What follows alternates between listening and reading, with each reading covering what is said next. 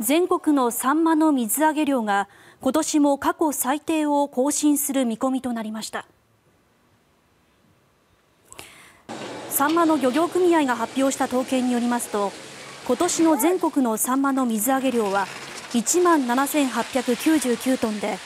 過去最低だった前の年の同じ時期より34%減少しました。北海道根室市の花咲港で去年より2割増加したものの道内の他の漁港や東北・三陸地方の漁獲量は軒並み低調でしたサンマ漁は終盤に入っていることから3年連続で過去最低となることが確実な情勢です供給量が減ったことで全国の10キロあたりの単価は6240円で